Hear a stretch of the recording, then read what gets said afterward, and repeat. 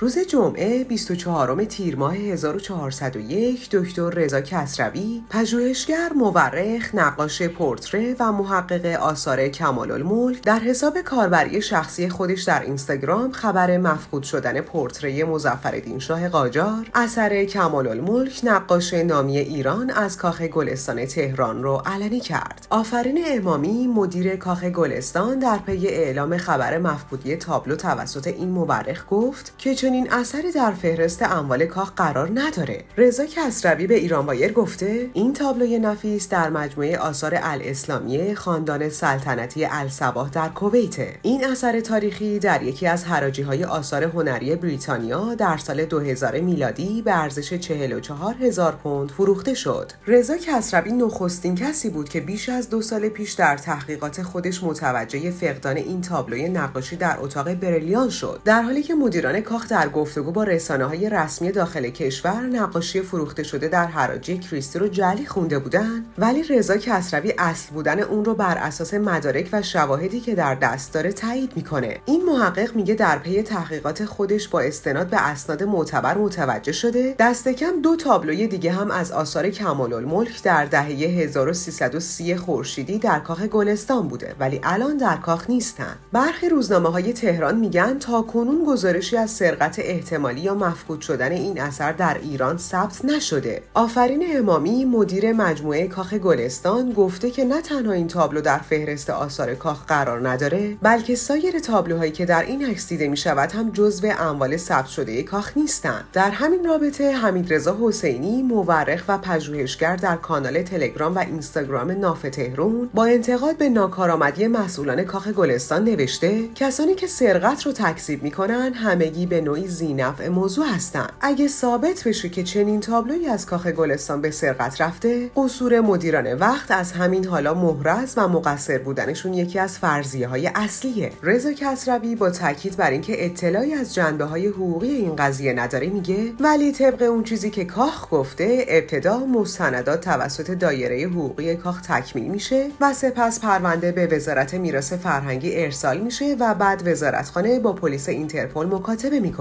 چرا که ایران عضو کنوانسیون استرداد اموال مسروقه است.